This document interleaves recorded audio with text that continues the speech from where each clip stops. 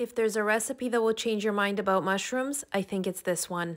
Let's go. Start by removing the stems. Don't discard them. You could use them for another recipe. With a damp paper towel, clean the mushrooms. Add a little bit of avocado oil to a baking dish. Add the mushrooms with a little bit of pizza sauce. Now add dry oregano on top with some freshly grated mozzarella. Bake for 18 minutes and 1 minute on broil. Enjoy and follow for more.